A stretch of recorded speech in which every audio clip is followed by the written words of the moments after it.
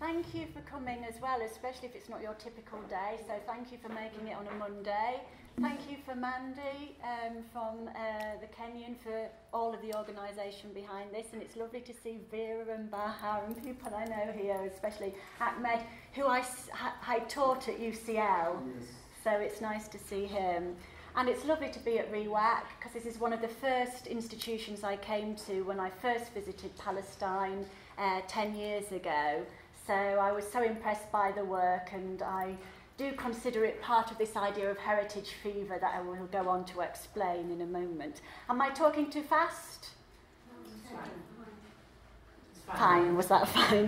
um, I couldn't hear that. So I'm going to be talking about different ideas of heritage fever. I want you to consider this and to see whether you think that this is something that is a phenomena and what kind of phenomena it is.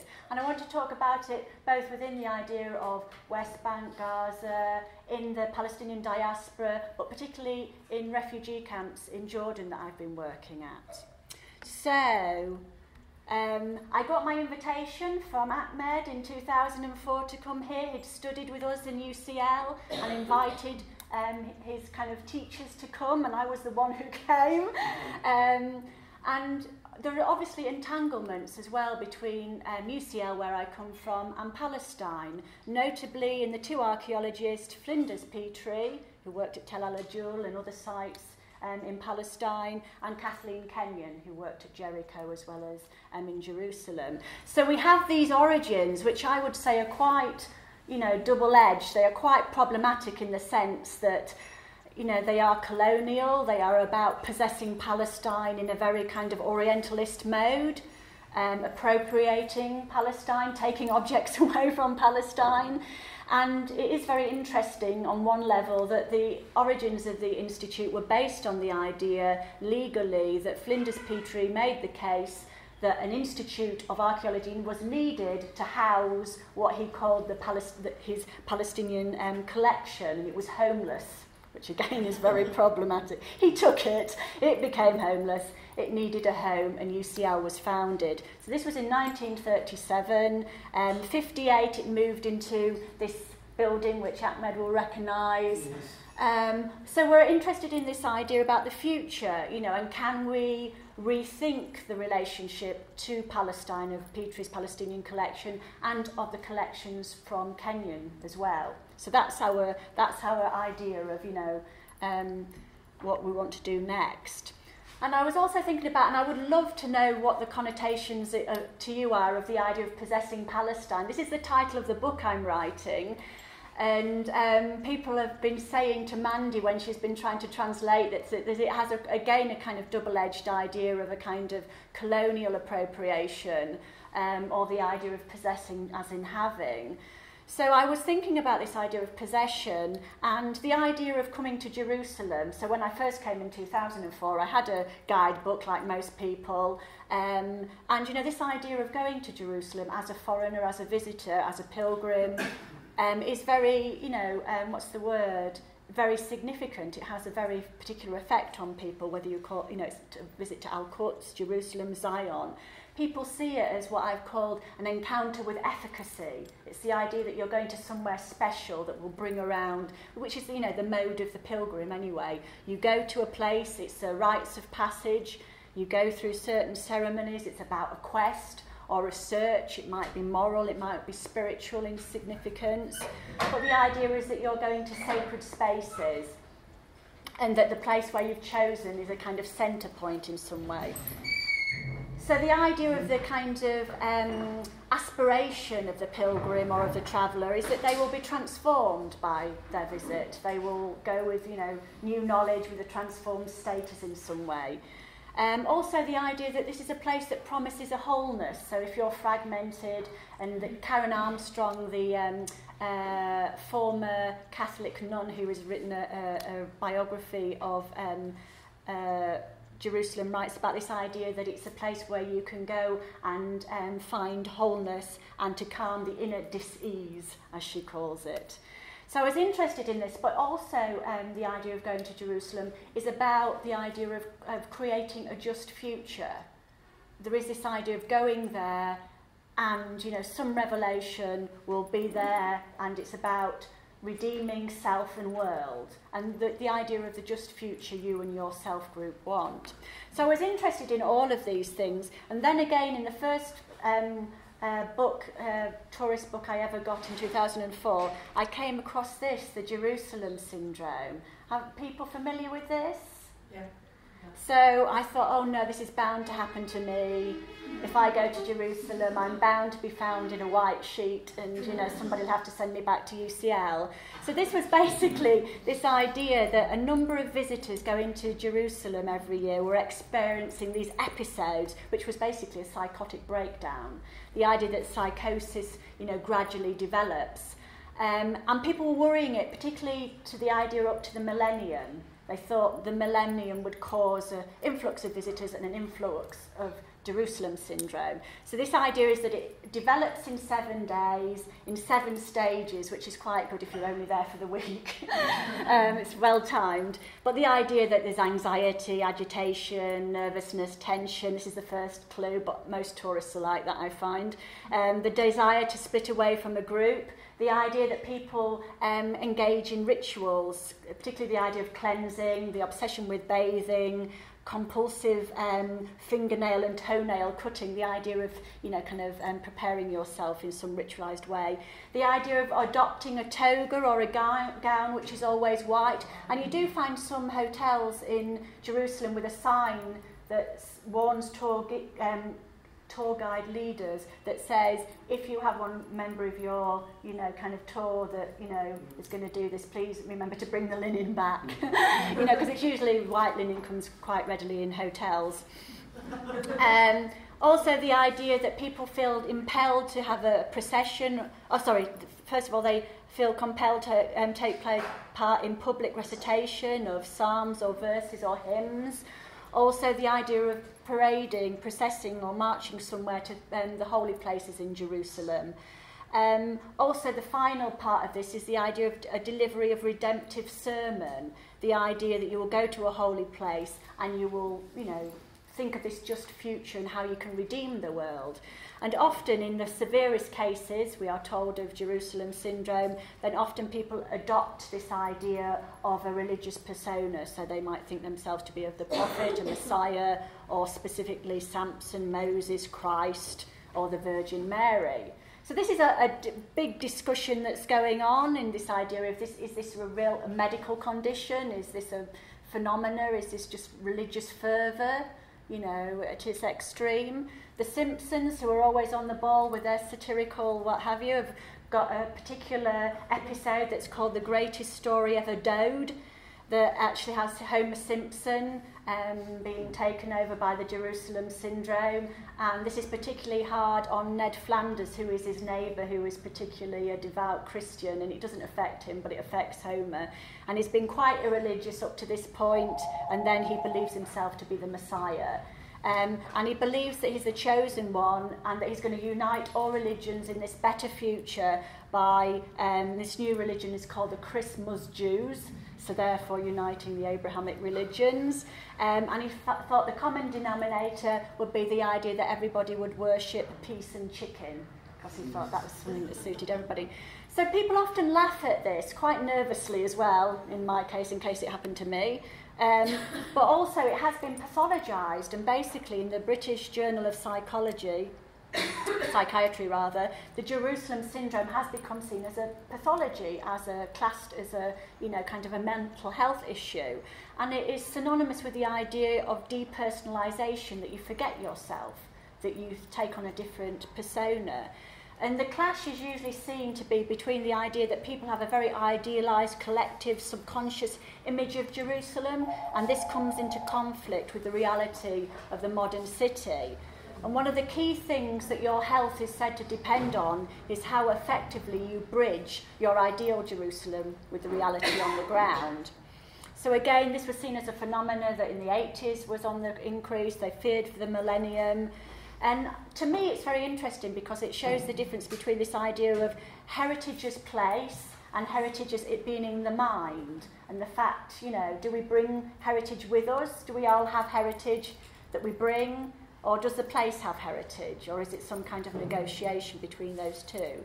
But what was also interesting, since, since I'm interested in uh, heritage and well-being and healers, was the idea that you're, you're at stake here is your health. Depends on the idea of whether you can possess the city in the way you wish to.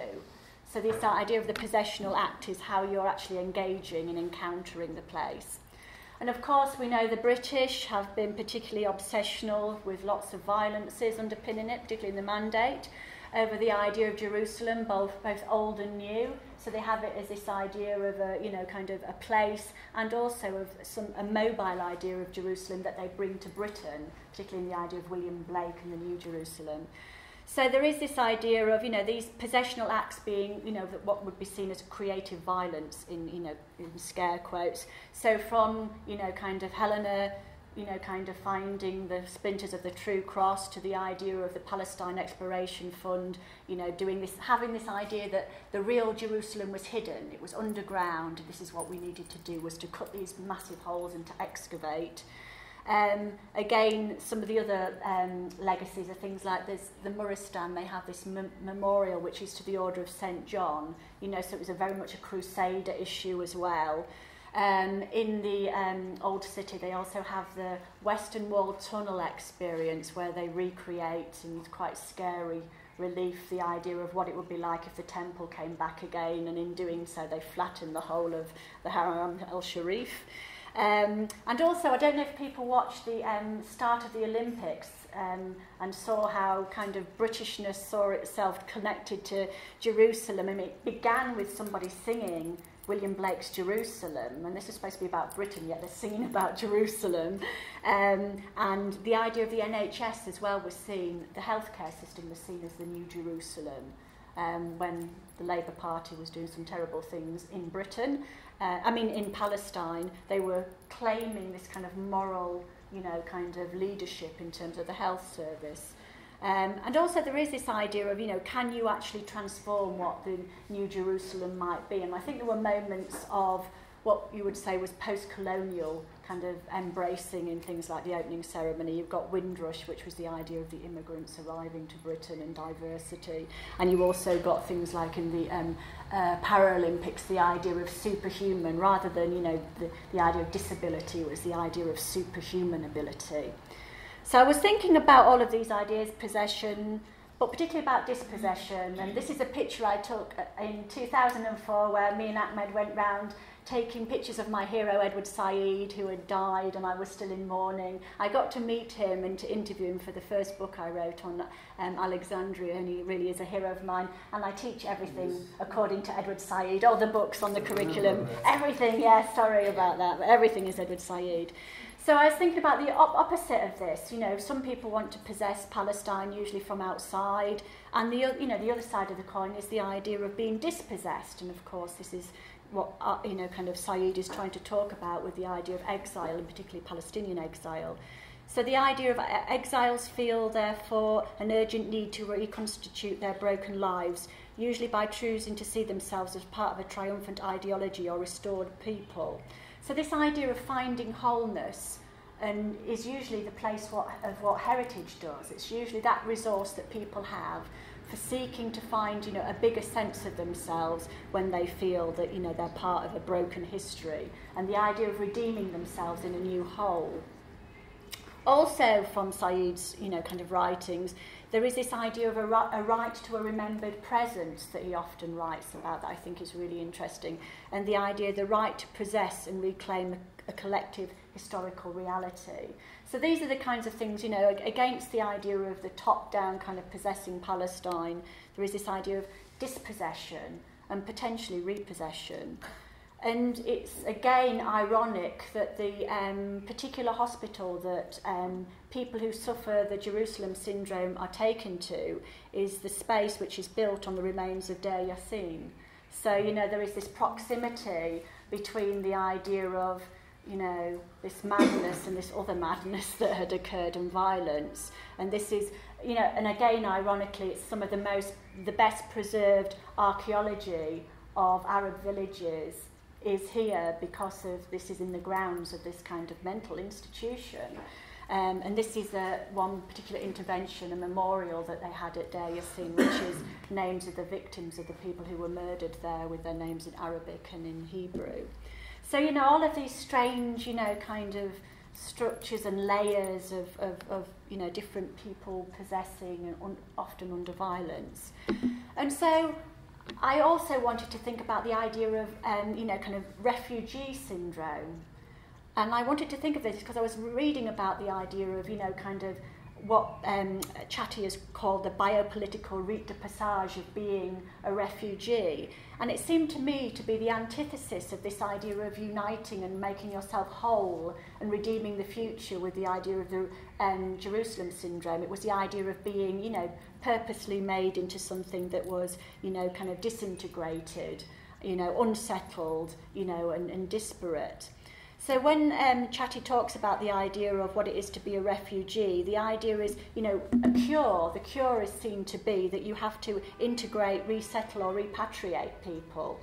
And of course, the Palestinian um, dilemma, paradox as she calls it, is uh, as Petit calls it, is a um, unique dilemma. The nature of who is a refugee is, is very, you know, broad in its definition. Um, because most people have been displaced or who is a displaced person, particularly from 48 and 67. But the idea of, you know, can you rehabilitate and what does that mean if you're still in a refugee camp after your, you know, kind of family member was, dis, you know, kind of forcibly dispersed in 48 or 67. So the idea of the, you know, reconstituting, reconstituting the refugee in a new lifestyle and persona, again, seems to be this antithesis and the idea that it's a kind of depersonalisation in the same way as the Jerusalem syndrome. Um, so again, the idea that uh, people have pathologized the idea of the refugee syndrome as well and made it into this you know, kind of, um, you know, almost illness that you have to cure. And how can you cure that? Is that by going back to Palestine or going back to your home village? How do you do this? Um, and, you know, this kind of the cornerstone of this being the refugee camp being incredibly problematic.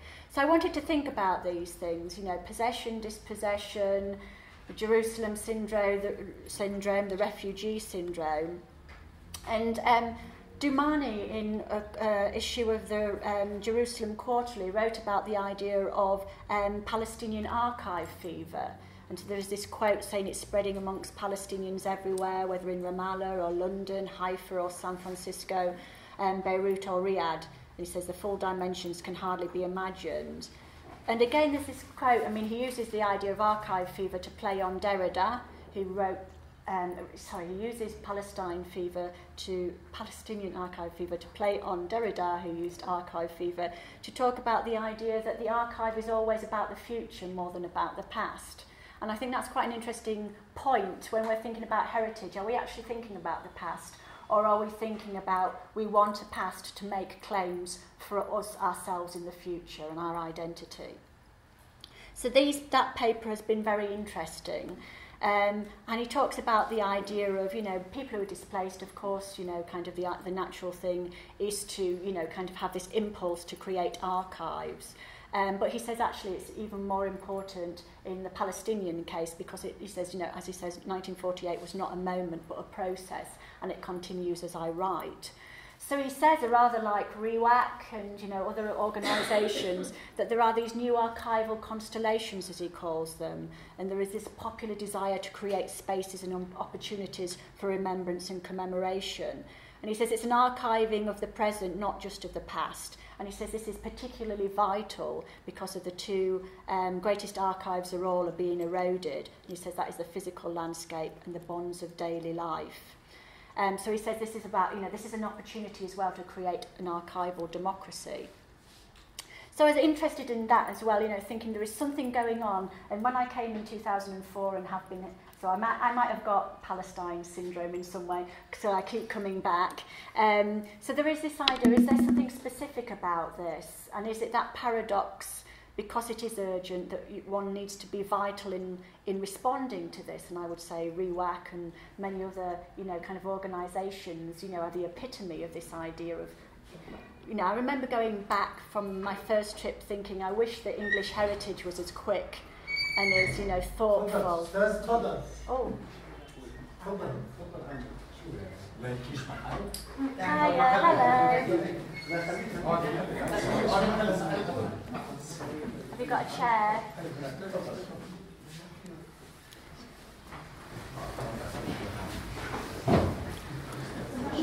Hello. Hi.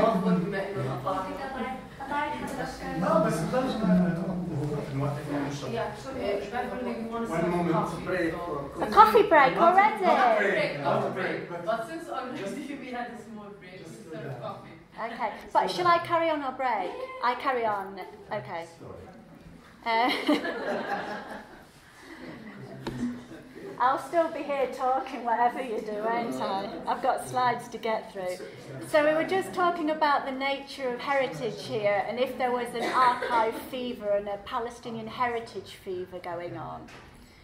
Um, and there was this, as some people might remember, there was a, a policy document that I was um, asked by UNESCO and the PNA to be involved in, Keys to the Past, Keys to the Future, which was creating a national museum policy for Palestine.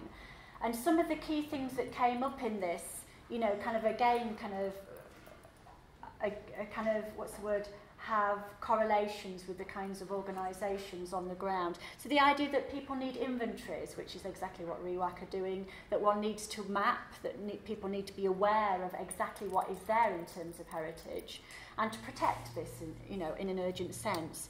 The idea of professionalism was quite an issue as well because many people who were active in the heritage realm were laypersons or there were people who were enthusiasts And often, you know, professionalism is quite a violent act because you need a lot of money to get the degree or to get the professional. And how can you actually include people who are obviously passionate about this?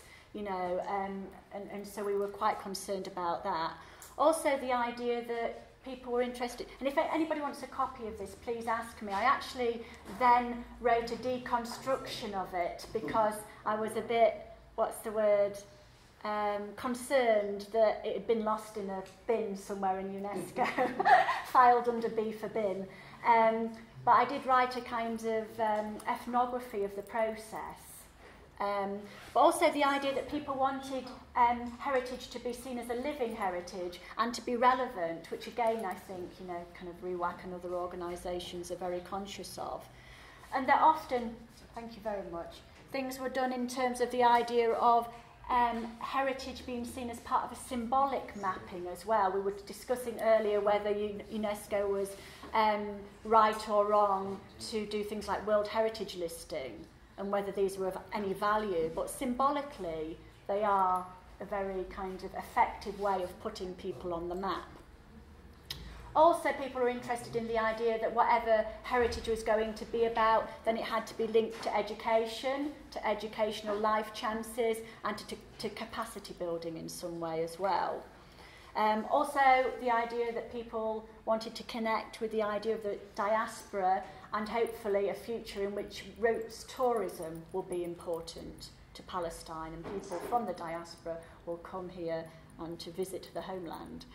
Um, also the idea of just futures. So people were very concerned about the idea that, you know, kind of this was going to be used to define, you know, a Palestine in the future that was, you know, kind of um, built on the idea that there is a historical presence, and that was very important to people. And it included like things like statements on uh, the, the, what is now called the Rockefeller Museum, the occupied museum in East Jerusalem, and the idea that repatriation and return of that museum as part of a, you know, a Palestinian um, museum uh, complex. So these were the kinds of issues, and if anybody wants this report, I'm very happy to circulate it, and also my deconstruction, if that's a polite word to call it afterwards. So again, again, this idea of repossessing Palestine. So again, I would like people in when we get to discuss things. Is this what's happening now? Is this what you know Riwaq is about, or is that you know kind of the listings that you've done as you know part of you know kind of Palestine becoming number 195 in terms of the kind of uh, member states of the um, of UNESCO. so, or you know things like PACE, the Palestinian um, Association of Cultural Exchange, Open Bethlehem. All of these things have been interesting in the idea of repossession, I think. Um, and again, you know, kind of buoyed up on this idea of, you know, needed to act.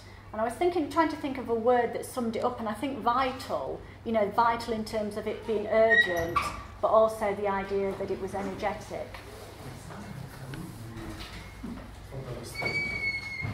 Hello, no, come join us. Um, so there was this idea that situations of extremis, there is this remodelling of um, heritage, and we were discussing Chiara de Cesari's article about how she saw Riwaq about you know this idea of the future, if you like. So you know, and again, I would like your opinions on things like that. Um, and I'm doing okay for time. So I want to now go across to Jordan and think about repossession there. And again, I would be very interested in the idea of how you think that this might be similar or different to the idea of, you know, West Bank and Gaza and this act of repossession. So the idea is, is there a refugee heritage fever or syndrome? I mean, is it bad for you? These things are double-edged. I mean, the, you know, the Jerusalem syndrome, depending on who says, you know, is talking about it, is either, you know, a great, you know, expression of religious devotion or it means you're mad. You know, and it's actually, you know, kind of some kind of illness. So I wanted to think about this. And all, all, obviously, there is this kind of paradoxical role um, of heritage in this situation because, in a sense, you've lost your heritage. You are outside Palestine, you are in a refugee camp, but you also bring heritage with you. So, what is heritage, and how do you acknowledge that, and how do you con- keep connections with the homeland? Um, so this is the idea that, you know, we start with the idea that we, you know, wanted to challenge the assumed absence of heritage in the refugee camp, which is often stated, and the idea that from the symbolic heritage to the everyday, this obviously exists and it's performed, it's reworked, it's, you know, kind of part of, you know, everyday life. Um, also the idea that, you know, heritage is bound up in creating the paradox, you know, the kind of, you know, problem of the idea of being in a, wanting to go back to the homeland as well. So there is a really paradoxical aspect. But the idea that identity, you know, is bound up in the idea of who you are, what your origin is, where you come from, but also place making. So how do you place make if you think you are outside of, you know, your um, the place where you wish to be? Also the idea of well-being, how is well-being performed? And often people, again, talking to people in refugee camps, they will talk about their kind of strategies or rituals of comfort or coping strategies that relate back to the idea of being Palestinian and what that means and how that helps them cope. Also psychosocial um, perspectives on this, the idea that, you know, kind of well-being is bound up in things like religion is based up in the idea of family, it's based in the, you know, these kinds of networks of what you might call habitus that we are born into. But also the idea that you won't wish to commemorate pasts, and I shall show some examples, and again claim futures, just futures. Usually this is bound up, as we will see, in the idea of the right of return. Um, so I didn't do this on my own. I definitely needed my per, the person I was working with, who is Dr. Fatima Namari, who is um, at uh, Petra University. Um, and she used to work with UNRWA as a camp improvement officer in Jordan, so she was well placed academically and also had this background in knowing the camps and you know kind of going there. So we also didn't want to just go into a camp and say what is heritage, what do you think? We actually went to places where we knew people were already thinking about this. Talbeya camp, which is um, just outside Amman, airport really, was one of the first to actually respond to this. They have an amazing heritage um, centre, which is in the Women's Centre. They have this heritage project. And they were interested in doing oral histories and they were interested in thinking about this idea of the refugee camp as heritage as well. So this is um, one of the sessions that we were doing on oral history. Um, So this is some of the kind of blurb that UNRWA uses about um, the Talbeya camp, one of the six emergency camps set up in 1968. Um, you probably know all of this. I don't know how familiar people are with the different refugee camps. But the, you know, when they're kind of citing the problems there, early marriage and divorce, poverty and unemployment, absence of green spaces and open play spaces, irregular jobs, no social security or health insurance schemes. So there are all of these kinds of issues and, you know, kind of placed in a quite a, a small space. There's more than 7,000 re registered refugees um, there. So we wanted to try and find out, to um, organise workshops, and we've done quite a few of these now, um, and to look at this idea of, you know, is there a heritage fever? What does this repossession mean? What are the themes, the issues and concerns that were raised? And when you just mentioned the idea of heritage, it's not surprising that people talk about Palestine. Palestine is the first, you know, being Palestinian, talking about Palestine is the central, it's the axis mundi, it's the centre part of the cosmology that people talk about.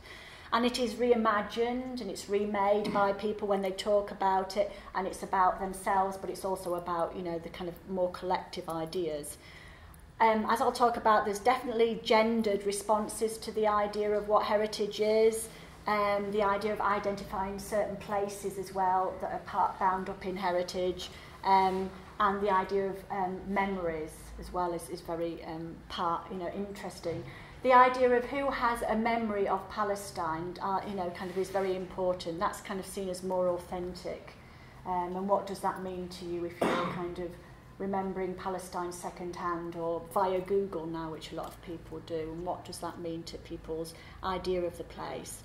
Also, the idea of transmitting um, heritage. People, again, are very much interested in different archives. So I will talk about them in a moment. And particularly this pa um, paradox that people are, you know, kind of situated in where they're in a kind of permanent impermanence. You know, the idea of, you know, will we get back to Palestine? When will we? You know, now the fourth generation of people are born in camps in Jordan. Is that effectively where people are going to live? But again, there was this idea of, you know, kind of better futures you know, people were, you know, discussing how you could use heritage to, you know, bring about a better future. But again, you know, the ultimate cure was seen as the right of return. So the first thing that, you know, kind of came up with the idea of heritage is that people use, and I'm sorry, I've tried to learn Arabic three times now and I've failed. My English is quite bad because I'm a northerner, so I, even my Queen's English has never worked. Um, but people connect, use the term turath, Thank you. Um, uh, and that's the first thing people use as their, you know, kind of terminology. And it's usually used in a kind of duality. There's a double vision between the idea of a bigger idea of Palestine and then the family village. So if you talk to people, they will say, yes, I'm Palestinian and this is my family village. Um, so Palestine is the centre of the network. When you're asking them who they are, Palestine is at the centre, but it's outside somewhere. People will talk about Palestine and point, you know. Um, but there's also this idea of feeling very uh, much part of the idea of the family village. And again, most people haven't finished, visited this or been there, but see themselves as, as inextricably linked to this. So again, one of the key things that people identify when you say, so what is heritage, is the idea of the dresses. So, you know, somebody we, in, we, we spoke to in one of the workshops talked about the unique fingerprints of Palestinian heritage being the dresses.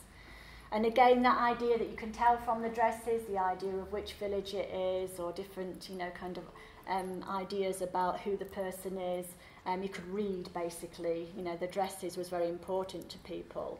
And when we talked to them about this, obviously they valued the idea of the authentic dress, the ones that managed to come from Palestine, even though that was very difficult when people, obviously, particularly in 48, had to, you know, kind of leave things behind. So even talking about heritage is often lost objects. But people very much valued these, but also remade them. So often they took the front panel and sewed it onto a new dress or they remade things and so you can get these collections that people have. And in the refugee camps where they have little space it's quite interesting that people choose to use that space to you know kind of collect things on top of each other. Um, so that was one of the other things. Also people talk about you know heritage in that kind of souvenir sense that you know it's from somewhere else and use metaphors and metaphorical weight and often use this to give moral ethical resonances and a lot of people writing, you know, about heritage um, and about kind of linguistics or, you know, kind of uh, discussions of how people just speak about things say that metaphor is often turned to if it's an incident which you can't quite articulate because it's very emotional or it's significant to you in some way. So metaphor is often used you compare it to something else.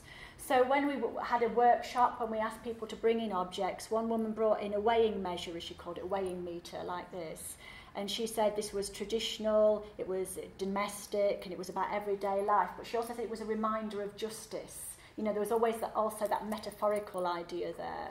Um, olives, as you might expect, and olive trees came up a lot in the idea of, you know, what objects, you know, kind of um, was synonymous with um, Palestine. There were visions of rural life, the idea that one man who who's talked about the idea that, that it was his connection with a home in Ramallah, which he said was famous for olives. It got very competitive as to who had the best olives, and there were a few fights about this that um, emerged. Um, but also, again, with a metaphor, he said, Palestine is like an olive tree, and the roots of the olive tree are deep in the earth, and he compared this to his family's deep roots in the Ramallah area, and all Palestinians' deep roots in Palestine. So you have that double layering, Ramallah and Palestine. And people collapse the idea of the object person boundaries as well to give that depth of origins, belonging, and stressing the resilience and steadfastness of humans you know, with such symbolic objects. So the same person said, the leaves of the olive tree are always green in winter and summer. They are always ready for growth and giving plenty. So the idea that, you know, I remember the sculpture that you had outside Birzeit, with the gallery in Birzeit of the olive tree as well. So, you know, this idea that this has become symbolic, you know, this is, this is, you know, has a, you know, almost overdetermined, you know, kind of resonance to it.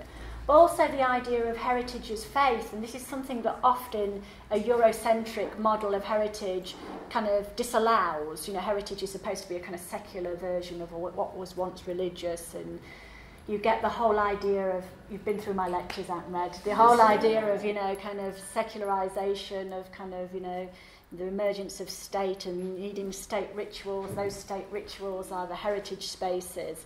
But there is a turnaround to recognise that the West isn't the world, thank goodness, um, and the idea that many people have religious value in terms of heritage. And so things like enchanted heritage are often cited, and you know the idea of understanding sacred heritage. I'm sure you're familiar with all of these things. So the idea that you know heritage is faith, religion, and peace. Um, So again, another quote, the olive, like Palestinian heritage and Palestinians itself, is sacred and has religious values and meaning. So people put the idea of value, we were talking about heritage value before, but you know, and extend it from the object to yourself. Um, the olive it's, itself has religious value and features in the Quran, as Muslims and faith are very much connected with religious value, and our homeland connects us with our history and our faith. So there is this idea as well. The same person who spoke about this said that their heritage was not territorial or um, and it was non-sectarian as well. Whatever the monument of civilization is, and whether it is Muslim or not, it is part of our achievement. It is positive, and so they said this against the idea of a, you know, a specific heritage. You know, for example, um, Israel wishing to find Jewish heritage, but the idea that everything is, you know, kind of uh, bound up in the heritage of Palestine. Um, also the idea of the olive branch of a, a symbol of peace internationally. And like many people and as in the thing that the, the report that we did for um, the PNA and UNESCO often people talked about the peace industry. So peace was seen as a very devalued in terms of the peace process you know kind of idea. But the idea of reclaiming peace in some way could be done So, and this brought um, a kind of emergence of different people within the refugee camps talking. So one of them was a Syrian refugee who talked about, um, and this was a Syrian refugee in the Palestinian refugee camp in Talbeya who said, um, as an Arab and a, as a Muslim, part of our faith is to be attached to Palestine. So it is not only those who have been removed from their homes for whom it matters, but Palestine is holy for each Muslim. Jerusalem has a religious value as it was the first direction of prayer. Therefore, it is a matter of faith to preserve it and to keep it safe, to, to keep it safe, to defend it, and to make it into a place of peace. So even if I am not Palestinian, as a Muslim, I am outraged at the occupation. And so this kind of gave um, people the opportunity to talk about non-Palestinians within the refugee camp, which first of all wasn't a kind of issue, but once you know, kind of, so people talked about the Syrians who had come recently, also um, Egyptians who were often migrant workers, Iraqi um, refugees as well. So you've got much more of a diversity of who, who was part of this kind of, you know, kind of heritage space, if you like. Also the idea that this was about, you know, kind of different ideas of suffering and resilience. So the idea of the Nakba and the idea, this brought people on, you know, to talk about the actual event of, of you know, kind of dispossession, whether it was 48, 67 or whether it was from the ongoing, you know, kind of um, uh, dispossessions. So, and people kind of summed up this kind of, again, dualism between the idea of Palestine being a source of pride and inspiration, but also a heavy burden. And the idea that we think that Palestine was the light that lit up the world, but also as a problem that is always present, present and persistent as long as we are in the camp. Um, so there is this idea of heritage pride as a source for well-being, but also this sense of burden and ill-being. And this was some, one of the artists um, in one of the camps who had, you know, kind of based all this artwork on this idea of, you know, kind of um, suffering.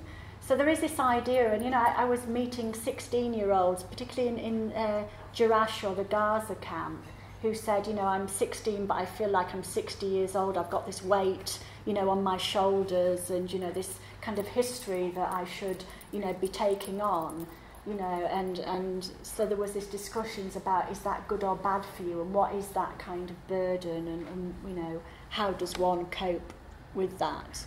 Also the idea of lost objects, um, lost persons as well, lost homes. So the experiences of displacement were, you know, kind of came to the fore. So Palestine, of course, was the ultimate lost object. The idea that we lost Palestine was the kind of key thing that people spoke about. And also the elders, there are still people from 48 alive who were talking about their experience, and they were all obviously seen as authentic narrators. You know, they were victims of this, some of them combatants as well. So this is a, a quote from somebody who said that he was 15 years old um, and remembered the first night, it being the first night of Ramadan when the attack was happened on his village, um, and his, his and the neighbouring families fled in their night dresses. He says it wasn't possible to carry all the children and four within the village were left behind. So there's this idea, you know, we left people behind. You know, you're talking about objects. You know, this is, this is, you know, kind of uh, much more um, weighty than this. Um, also the idea of um, uh, he went then to a, uh, UNRWA camp near um, Hebron and he talks about the blizzards, the tents falling down, of course the snowstorms as well that's synonymous with the aftermath of this, bringing more hardship. So the idea of another camp, and people talk about displacement and displacement and displacement, and the idea of suffering much poverty, having to live, live off a bushel of dates and water, um, and again finally coming to, you know, kind of um, Jordan. Um, I came to um, Talbeya moving back and forth to the Jordan Valley during which the second blizzard took, blizzard took hold, bringing more extremists. And then the person who was narrating this summed up by saying, to cut a long story short, it is a life of suffering.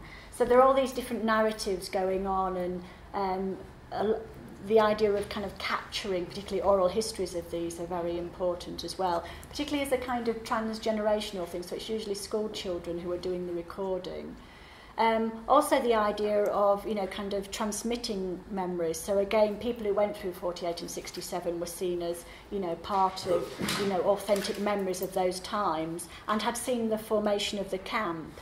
Um, and that they were the people, you know, to, to keep alive those memories and to keep them um, kind of on record, as it were, part of the archive. and the idea particularly that it was going to show the same sense of pain, anguish, trauma, but also the idea of it being an in, on, ongoing injustice. People were very concerned that it would still be an agenda and that they were there to, in a sense, personify that. Um, also this idea of the, the being in the kind of um, labels of the refugee and Palestinian, you know, kind of being part of the discussions of identity and what does that mean? What does it mean to be a refugee? What does it mean to be Palestinian? And again, this idea of, you know, leaving things behind often came up, you know, the idea, or having to sell things, even of the families who managed to take things with them, the idea that, you know, you had often had to sell things because you didn't have much money. So all of these discussions were going on in the different workshops, particularly with the discussions with the elders we had. But also you've got this idea of objects of desire. Often when I asked people, you know, did they have anything to bring into the workshops, often people would say, I don't, but this is what I would bring if I could. Um, and I thought this was quite an interesting one that um, when I, we asked one person what he would bring to the workshop, he says, if I had, a, you know, the object I would really like would be the dream of return and a prayer in Jerusalem. So his object that he brought to the workshop was very imaginatively a prayer in Jerusalem. So they talked about the idea of the dream of going back and the idea of particularly, you know, the, being preoccupied with this and the overwhelming power of the dream of returning home. Um, to spend your entire life thinking about this and what that meant and how that meant, you know, in terms of the idea of living in the camp and four generations of people being there. Also, the idea of, you know, kind of how do you bring Palestine to the camp? Am I all right to keep on talking? Yeah. Uh, how do you bring, so there is this kind of magical thinking, the idea of bringing the camp to you, particularly through the idea of food. And often here, women, it was a very gendered thing, that homemaking and placemaking was often something that the women did, particularly through the idea of cooking. So this idea of the sensorium, the idea of being able to smell, you know, the food or what have you, and to keep that going was very important.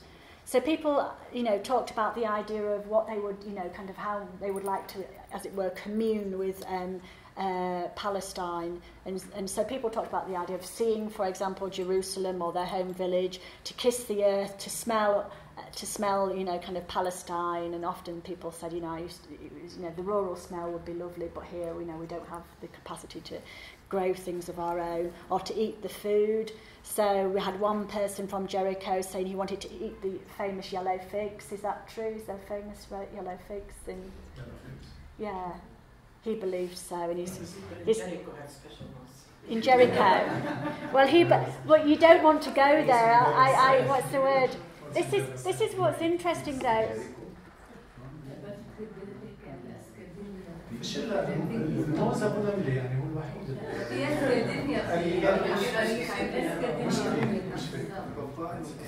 But so, but it's interesting that, that people build up in their minds that the fruit is better, that all of the things grow better in Palestine, um, and particularly their particularly their home village.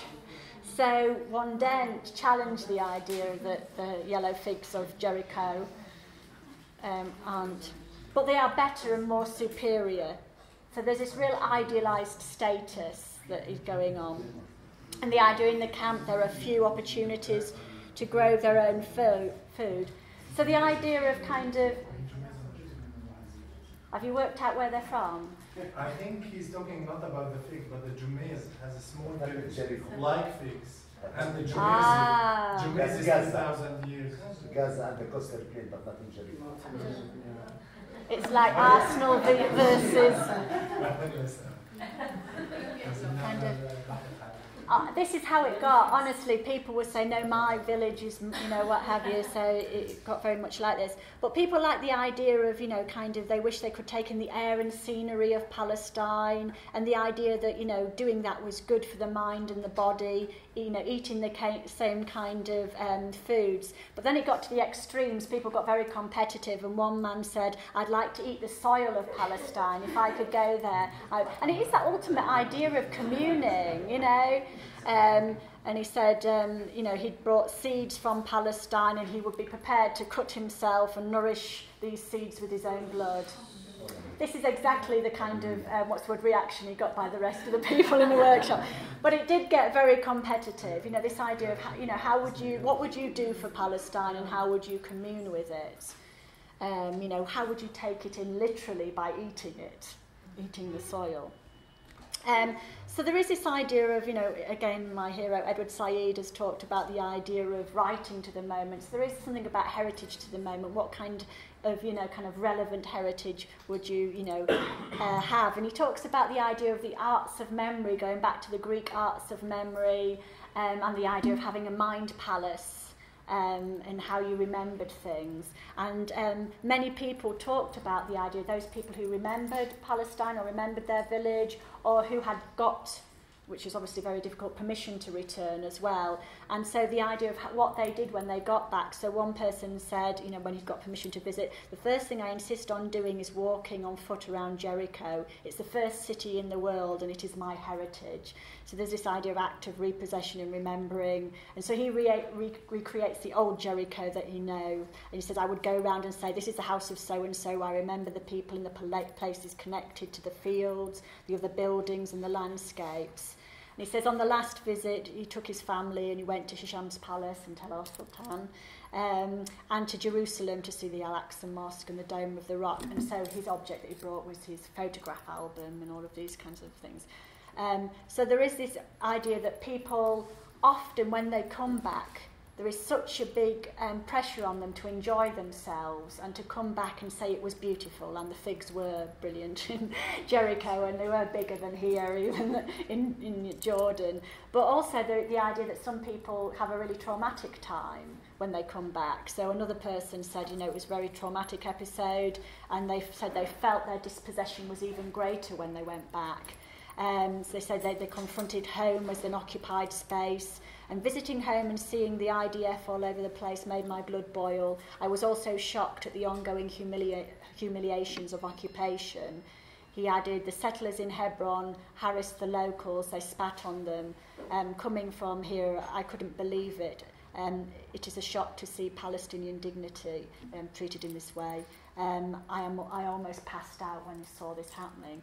So there is, you know, the different, you know, ideas, and people, it's, it's almost too over-determined, you know, your idea of people patting on your back, well, well done, you've got, you know, your permission to go there, and the idea of whether it's a, you know, a, a, a, an act of, you know, kind of well-being or not, depends on the, you know, what people take on.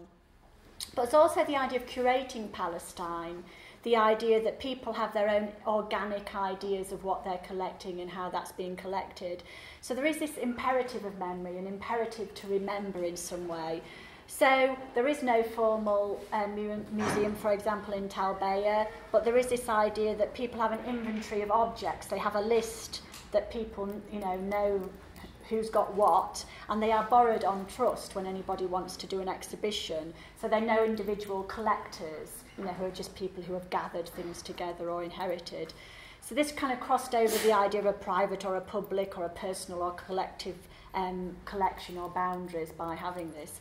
So there was somebody from Beersheba who had pots, headdresses, traditional carpets and maps as well of the place. And his friends joked, it is almost a museum that he has, it's his hobby. So there are certain people who have got these things and again kind of titles and deeds. And also we talked about the, uh, you know, the kind of iconic keys, you know, of return. Mm. And again, this kind of brought up the question of diversity as well. And, and one of the people we interviewed, interviewed said, people from Jericho and Ramallah have big keys that some managed to bring with them, but many people who came here to Talbeya were Bedouin who lived in tents, and therefore you don't need to have, uh, they didn't have keys to bring.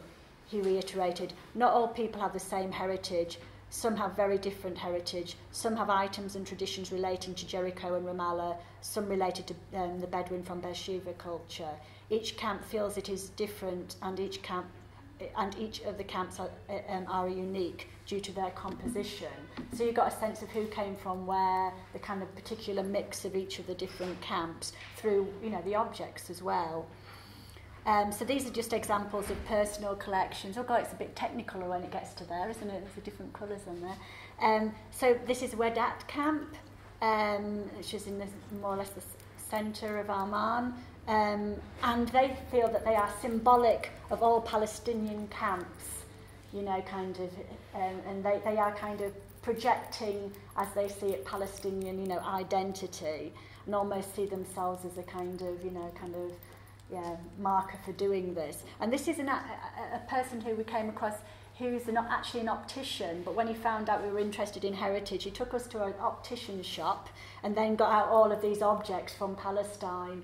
And I just said, oh, you know, you must have a lot of, um, uh, you know, kind of space to do this. You know, you, you know, it's getting rather full, you know, what's going to happen this? And he just says, my house is even worse. I've got a house and my wife doesn't want me to collect anymore. But he actively, you know, collected these. He was a poet, so Mahmoud Darwish was, you know, one of the kind of other kind of connectivities he had with the idea of being Palestinian.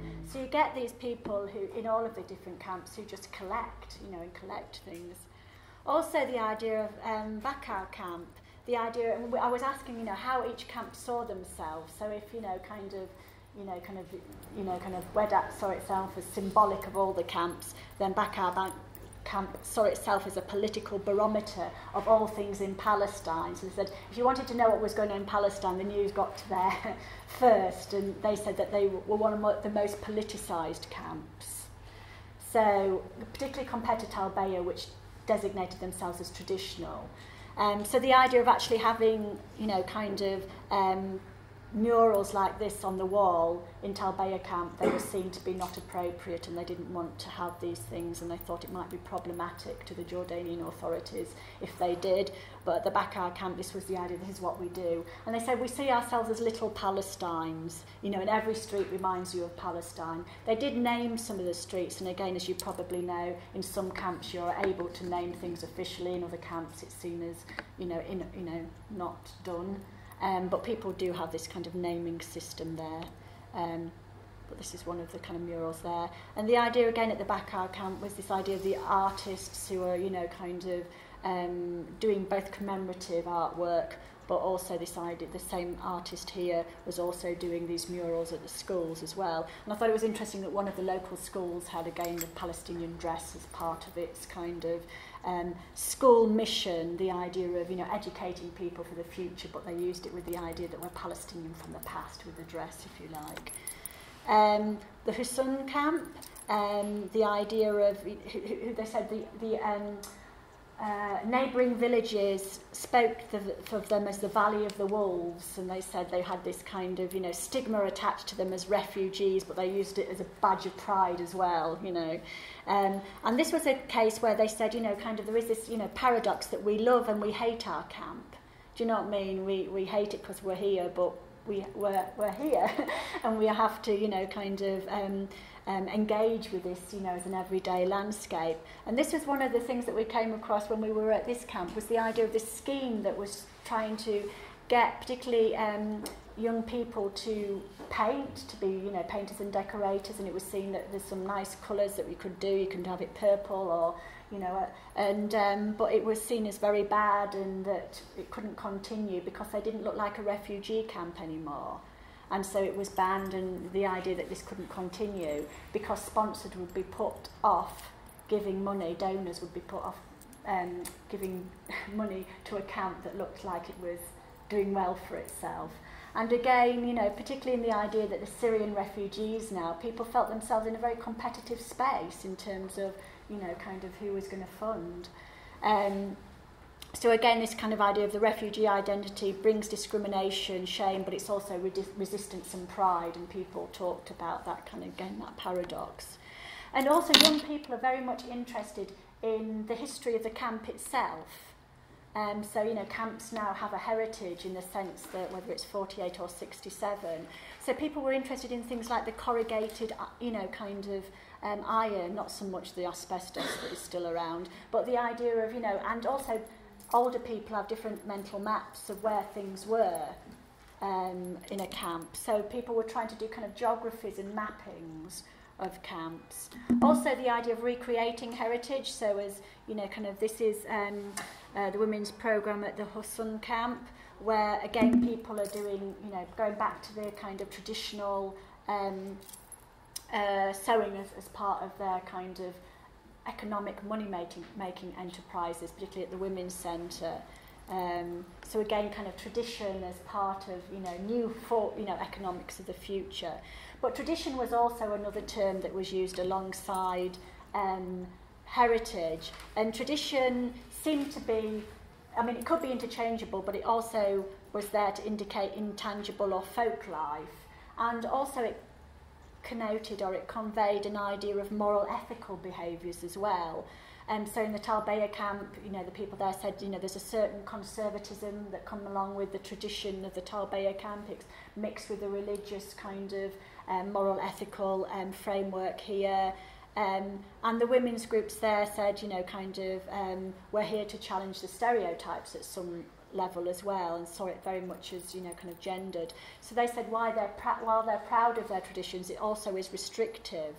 So again this woman in Talbeya said that um, the Talbeya was very traditional a, a source of great pride but also a paradox for female members of the camp. She argued that tradition is important to us but sometimes it affects us females negatively. And they spoke a lot about the idea of you know kind of going to either national or international um, women's groups, um, particularly representing Palestine, as something that was about self-esteem, and a lot of women felt quite empowered by this. Um, but it also became uh, an issue when we were talking about um, performance from dabke to rap. Um, there was this idea of, you know, kinds of can women perform in public? And at the Talbeya camp, that had become a problem with the idea of being in choirs and performing. Um, but when I was there as well, particularly Arab Idol, I'm sorry I don't know his name. what was that? but there was a few 13. Got 67 million votes. of an obvious winner. And, but I, there were 13 and 14 year old girls who couldn't stop talking about Arab Idol in Jordan. Um, so obviously this idea, and they were very proud, you know, this has shown that, you know, kind of, you know, Palestinians have this tradition of performance and singing and um, so we had these special performances put on for us as well. Um, but also the idea that, and rap was a very big, that was seen to be a medium where you could update, if you like, the, the old genres of, you know, kind of Palestinian kind of, you know, kind of folk song. So rap was being used as quite an important aspect of this and highly political as well in some contexts. Um, but also people were talking about this idea that, uh, particularly the young people in their workshops there were saying that while their parents and grandparents may have battled in terms of you know traditional conflict, they said their battle is with the media and with representation. And it was quite interesting how many people wished to go in for filmmaking and for all of these kinds of you know, kind of to challenge the stereotypes. And they had a big project, which was very interesting at Talbeya Camp, where young people kind of challenged the stereotypes. So they would recreate picture, the pictures, the photographs of 48 um, uh, refugees with the UN bags and what have you, and they would create them, you know, recreate them with their jeans on, going like this with their Arab idol. You know, things have changed, you know, and you know, and this idea that you know there is this kind of, you know, pity that comes from the, you know, you have to look pitiful to get the pity, to get the money and what have you. And they said, we want, you know, this to end. This is a, you know, a stereotype. It's a lot cheaper to go to Yarmouk now. It's a lot cheaper to go to Yarmouk camp and photograph people going again outside. Yeah, well, well yes, we, we, we, yeah, yes. Unfortunately, this doesn't stop. Um, and uh, another aspect of at Wehdat camp was the idea of the football shirt because they are proudly, the, you know, kind of. Does people support? No. Yes. Wehdat camp, yeah. So I was told that while I was there, I must buy a T-shirt, which is too big for my cat, which I gave him it for, but. But it's, it's, um, this was seen as part of the heritage. Um, heritage placemaking, you know, the idea of the Jerash or the Gaza camp, which has probably even less, in a sense, rights because they were the displaced of the displaced who came in 67 and have even less official documents than any of the other uh, refugees. So it's just next to, you know, Jerash camp, which next to Petra is the biggest heritage site in Jordan, and yet they are still only had the, the drainage tunnels being dug in while I was there in um, September, the last camp to have the drainage put in, and they still have a lot of the corrugated. Yeah. And people wanted to save these in the Talbeya camp because they were nearly a thing of the past. People wanted to archive these. Um, whereas in the kind of Jerash camp, it's just like, we've still got them, can you please change them? Um, also, viewing points. This was something really interesting. Um, when I asked people about, you know, kind of what they did on their days off or, you know, kind of um, you know, kind of what they did to, um, yeah, kind of their, their strategies of comforting themselves or whatever it might be, or leisure. And most people said if they wanted to, um, you know, kind of relax or whatever, or even keep feel connected to Palestine, they would go to a viewing point. So, so it's this kind of promised land thing again. So, um, you know, there was this idea, idea of Mount Nebo being a key one of them, which is, of course, where Moses saw the promised land from. So people said they often went to Mount Nebo to look across and to see, you know, kind of Palestine. Also, okay, um, the idea, so while we were there, sorry. As you know, Ahmed, you've tried hard with my accent and it's, it's rejected it again, I'm sorry. Um, so the idea, and when I was talking to people here, they said, you know, family groups would come here and they just said it comforted them that, that when it was sunrise here, it was also sunrise in Palestine. Um, so this idea of just seeing, you know, was an act of possession, if you like, possessing Palestine. And um, when I started with this idea of the Jerusalem syndrome, and you know, is it an illness or is it, you know, well-being, or what does it mean to be connected or obsessional about our heritage? In the in the Jerash, the Gaza camp, I was talking to the, them about this whole idea of um, the Jerusalem syndrome, and uh, one of the people there, the young boys there, said um, we're actually beyond psychology here. He said he studied psychology because he wanted to try and understand what was happening. And again, uh, you know, kind of the education, I mean, people, are, you know, kind of uh, very much um, wish to, you know, kind of engage in education to get better life chances.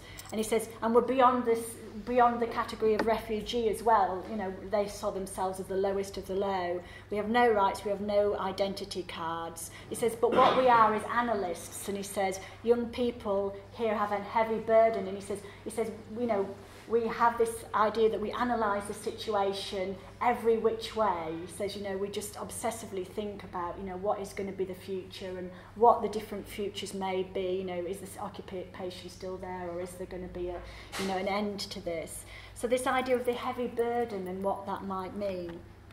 And as people have made mention of, you know, the kind of Syria, there's these, as Said would say as well, there are new besieged constituencies. So while we were there, you know, the Zaatari camp and all of the other camps that the Syrians are going to. And um, there was amazing acts of inclusion. So many people within the Palestinian refugee camps are, you know, amazing acts of kindness, giving you know, kind of refuge to people, sharing resources with people. There's a project in Hussun camp that's organised by the young people to get uh, a, an infant school for the Syrian children there because they've been two years without schooling there. But also there's this worry, it's competitive, you know, will all the money be going here and not to um, us as well.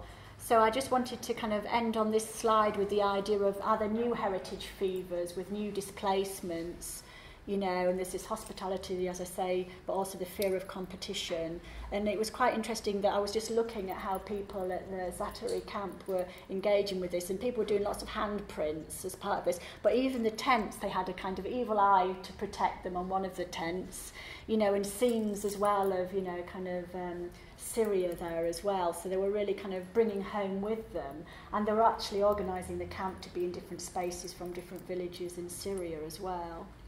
So I would like to leave it there and Ahmed will say a few things and open it up and what people think about this idea of possessing Palestine and are you all gripped by heritage fever or not or you know what do you think of all of these things?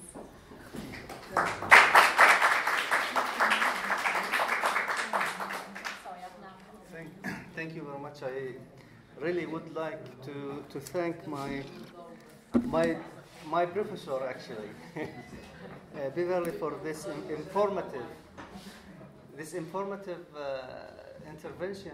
Uh, really, it's um, an intellectual uh, intervention about uh, the cultural heritage, and you know, this this this subject is very. Very sophisticated, I, let's say, and it, especially when we speak about Palestinian cultural heritage, here always we have uh, two sides, actually, and I, I, I, speak the conflict here, conflict of. Uh,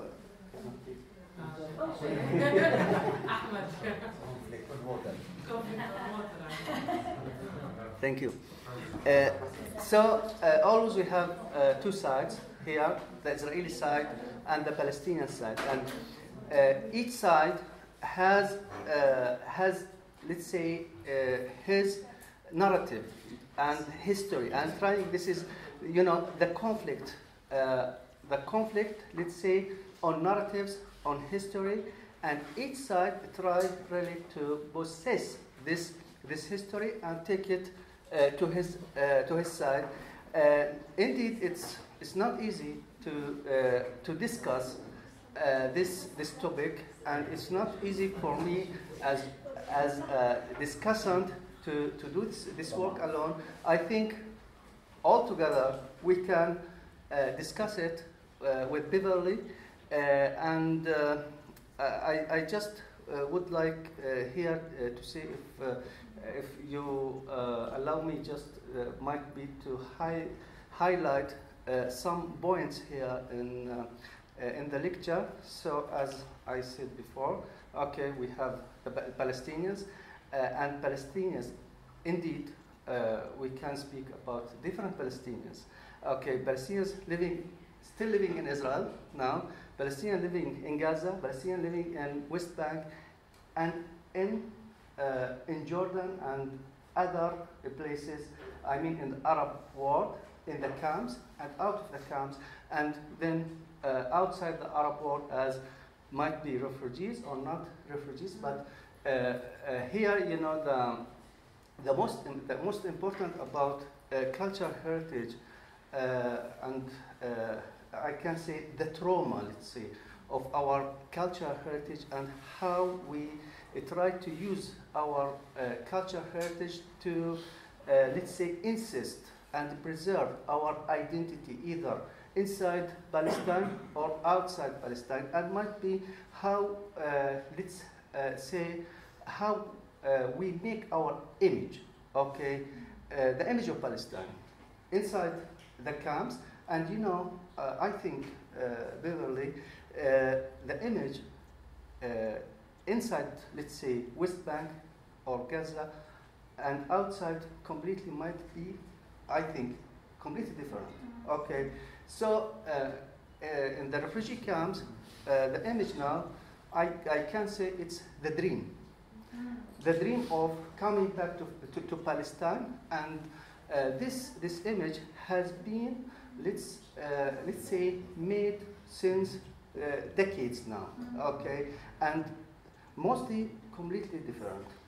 Uh, I think we have, you know, um, uh, to, uh, we have to, let's say, try to think about that and think about you know, the continuous trauma of our, uh, uh, our cause.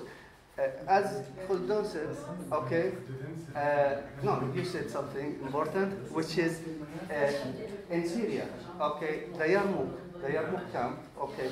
Now, you know, this image might be distorted sometimes, might be, uh, you know, preserved and, preserved and insisted, okay, to preserve the Palestinian identity. Uh, so, uh, so as, as you know, uh, here we have, you know, the image. this is the Palestinian side, and how we can understand now the Palestinian image, the Palestinian narrative, the Palestinian history, and how the Palestinians now use, let's say, their cultural heritage, their, their history, their narrative itself, uh, and whether they use it to insist uh, their right of this land or not. Uh, whether in Jordan they use it for the, the same uh, purpose or not. In the diaspora, I mean, okay, how they think about, about this issue. And then you see, if you take the other side, I mean, if you take the other side, uh, the Israelis try to, you know, to use this heritage uh, in different way. Either the intangible or the tangible heritage.